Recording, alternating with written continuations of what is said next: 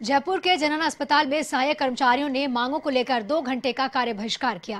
प्रशासन से वार्ता के बाद कर्मचारी काम पर लौट गए और वहीं सहायक कर्मचारियों ने बताया कि पिछले आठ सालों से अस्पताल में काम कर रहे कर्मचारियों हेतु तो शौचालय की व्यवस्था नहीं है और साथ ही कर्मचारियों की मांगे नहीं सुने जाने और अधीक्षक के रवैये को लेकर उन्होंने कार्य बहिष्कार किया। जिसके बाद एसएमएस मेडिकल कॉलेज के उपाचार्य और साथ अधीक्षक के साथ हुई वार्ता में पंद्रह दिन से में मांगे पूरी होने पर सहमति आखिरकार बन ही गई।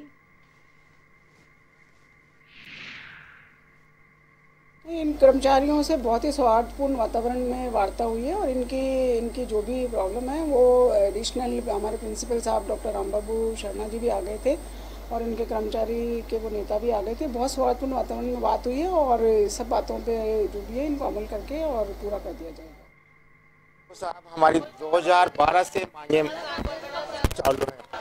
प्रशासन समझौता कर देता है, लेकिन लागू नहीं करता है। कागजों में समझौता हो गया, लेकिन लागू आज आठ साल हो गई, अभी तक नहीं किया। उसी बारे में आज प्रिंसिपल साहब के सामने बात हुई थी। कल हमारी शाम को 12 रात को 12 बजे तक मीटिंग चल रही थी। लेकिन मैंने कह दिया, मैं इस प्रशासन से बात नहीं करूँगा, जनाना से प्रिंसिपल साहब आएँगे तो ही वार्ता करूँगा।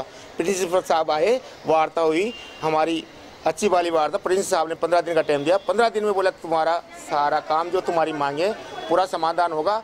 करण को क्वार्टर भी मिलेगा और क्वार्टर जो, ये जो इस क्वार्टर के बारे में हमारा जो चल रहा था, सुप्रिटेंडेंट साहब अभी भी इस क्वार्टर देश और दुनिया की हर छोटी बड़ी खबर के लिए सब्सक्राइब करें एवन टीवी न्यूज़ साथ ही बेल आइकन को प्रेस करें ताकि आप पा सकें ताज़ा खबरों की नोटिफिकेशन